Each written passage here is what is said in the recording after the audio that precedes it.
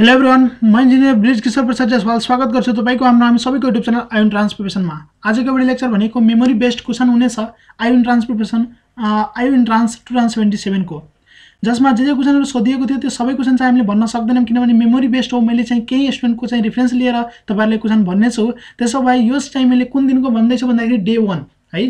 जुन चाहिँ माघ फोर्टिनमा इक्जाम भयो जनवरी ट्वेन्टी सेभेन हिजो नै भएको हो। सिफ्ट फोर भने पछाडि चार बजेदेखि लिएर छ बजे बेलुका जुन इक्जाम भएको थियो त्यसमा चाहिँ केही सोधिएको क्वेसन म चाहिँ तपाईँहरूले भन्नेछु।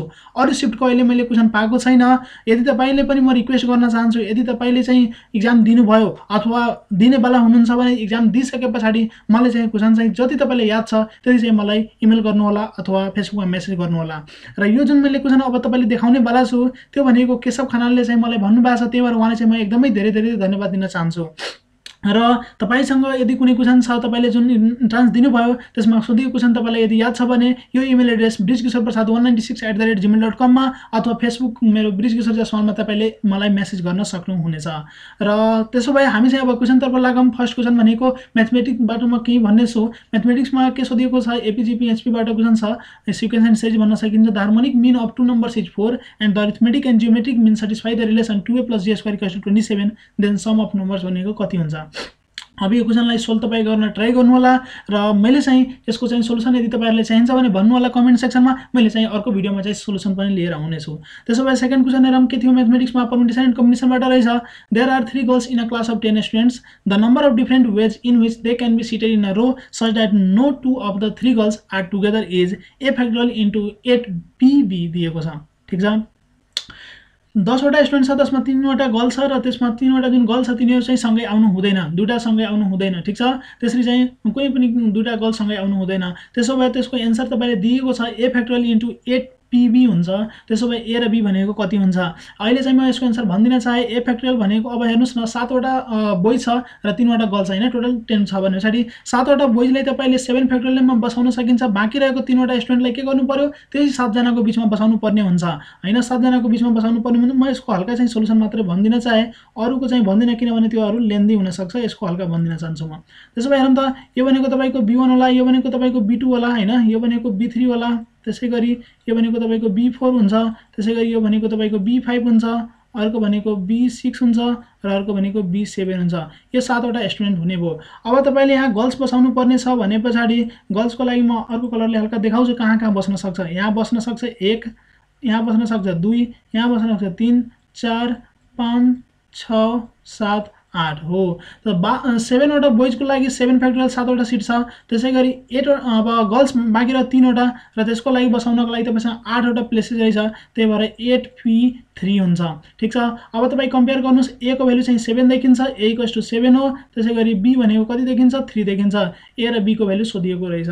ठिक छ? आशा छ बुझ्नुभयो होला। तर म चाहिँ अरू क्वेसनहरूको खासै त्यस्तो सोल्युसन गर्ने छैन। आज चाहिँ हामीले जस्ट यसमा क्वेसन मात्रै हेर्नेछौँ। त्यसो भए अर्को क्वेसन हेरौँ। भेक्टरबाट रहेछ। लेट ए कस टु यति बी कस टु यति and C cos to then find vector find the vector D which is perpendicular to both C and B and D dot A भनेको ट्वेन्टी वान छ। ठिक छ? डी भेक्टर यस्तो पत्ता लगाउनुहोस्। म चाहिँ के भन्छु भन्दाखेरि यस्तो खाले क्वेसनले सोल्भ गर्दाखेरि तपाईँ अप्सनबाट जाँदाखेरि रमाइलो होला। अब खोज्ने जुन जुन जुन चाहिँ डट प्रडक्ट ट्वेन्टी वान आउँछ अथवा योसँग पर्पेन्डिकुलर आउँछ त्यही हो भनेर त्यसै गर्न सकिन्छ। अप्सनबाट फास्ट हुनेछ सोल्भ गर्नुभन्दा पनि। तर ठिकै छ सोल्युसनमा अर्को मतलब भिडियोमा गरिदिउँला यदि तपाईँहरूले चाहिन्छ भने। Find the area of the circle which is interior to the parabola यति होइन अब यो सर्कलले चाहिँ पाराबोलाले कहाँ काट गर्छ र त्यसमा चाहिँ बनेको एरिया चाहिँ कुन हुन्छ त्यो चाहिँ निकाल्न भनिएको छ। ओके त्यसै गरी भन्छ the angle between and B is five by six भनेको तपाईँको thirty degree then the angle between two and three B भनेको कति हुन्छ एकदमै झुक्याएको क्वेसन हो। एङ्गल दुवैको सेम आउनेछ किन भन्दाखेरि म चाहिँ जस्ट तपाईँहरूले हल्का भनिदिन चाहे भेक्टर ए भनेको मानव यो रहेछ भेक्टर बी भनेको मानव यो रहेछ ठिक छ? अब टु ए भेक्टर कहाँ हुन्छ? यसैको डबल यसै डिरेक्सनमा त हुन्छ नि। ठिक छ? त यो ए छ भने यहाँ ए थपिदिनुहोस् यो भनेको टु ए आउनेछ ठिकै छ। त्यसै गरी थ्री बी भनेको यसैको अगाडितिर सेम डिरेक्सनमा थ्री बी हुन्छ यो बी छ यो बी छ यो बी छ थ्री बी हुने भयो त्यसो भए एङ्गल भनेको सेम नै रहनेछ पाइ बाई सिक्स नै रहन्छ। एकदमै ट्रिकी खाले क्वेसन छ। यो मलाई लाग्छ सायद एक मार्क्समा सोधेको क्वेसन होला। त्यसो भए अब चाहिँ लास्ट क्वेसन मसँग जुन एभाइलेबल छ म्याथमेटिक्समा यो रहेछ the position vectors of the vertices of a triangle are यति यति एन्ड यति। तिनवटा भर्टिसेजको पोजिसन भेक्टर दिएको छ भने the distance between the circumcentre and orthocentre भनेको कति हुन्छ? त्यो ट्रेङ्गलको त्यो चाहिँ निकाल्नलाई भनेको छ। भेक्टरबाट मैले तिनवटा क्वेसन देखिसकेँ। तपाईँले चाहिँ अब भेक्टरमा अलिकति बढी फोकस गर्नु होला ओके त्यसो भए यो चाहिँ म्याथको क्वेसन छ। तपाईँले यसलाई स्क्रिनसट गर्न सक्नुहुन्छ र यसको सोल्युसन चाहिँ तपाईँले ट्राई गर्न सक्नुहुन्छ। यदि तपाईँले प्रब्लम हुन्छ भने भिडियोमा कमेन्ट गर्नुहोस्। मैले चाहिँ अर्को भिडियोमा चाहिँ सोल्युसन लिएर आउनेछु। त्यसै गरी फिजिक्सको क्वेसन हेर्दाखेरि फर्स्ट क्वेसन भनेको तपाईँको थर्मोडाइनेमिक्सबाट रहेछ a heat engine is involved with exchange of heat of 1915 joule minus 40 joule plus 125 joule and minus q. Uh, during one cycle achieving an efficiency of 50 percent the value of q भनेको कति हुन्छ? यस्तो चाहिँ question रहेछ। त्यसो भए अर्को question छ हामीसँग three point charges Q minus four Q and two Q are placed at the vertices of an equilateral triangle ABC of side L as one in the figure obtain the expression for the magnitude of resultant electric force acting on the charge q अब यो तपाईँको इलेक्ट्रोस्ट्याटिकबाट सोधिएको छ तपाईँले यो दुईवटा क्वेसनलाई practice गर्न सक्नुहुनेछ।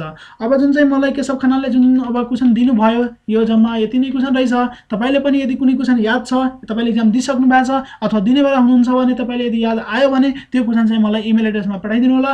यो इमेल गरिदिन सक्नुहुन्छ अथवा फेसबुक एड्रेस भनेको हाम्रो ब्रिज किशोर चाहिँ साल छ यहाँ चाहिँ तपाईँले मेसेज गर्न सक्नुहुनेछ। आशा छ बुझ्नु होला। यदि तपाईँले भिडियो राम्रो लाग्यो भने लाइक गरिदिनुहोस् कमेन्ट गरिदिनुहोस् आफ्नो साथीभाइ दिदीबहिनीहरूसँग सेयर गरेर च्यानल सब्सक्राइब गरिदिनु होला। र त्यसै गरी सबैजनाले म चाहिँ आइएन ट्रान्सप्रिपेसन गर्ने स्टुडेन्टहरूलाई जो जो इक्जाम दिनेवाला हुनुहुन्छ उहाँहरूले चाहिँ बेस्ट अफ लक भन्न चाहे। आफ्नो केयर गर्नुहोस् र राम्रोसँग इक्जाम दिनु होला। हस् धन्यवाद। नमस्कार नेपाल टेक केयर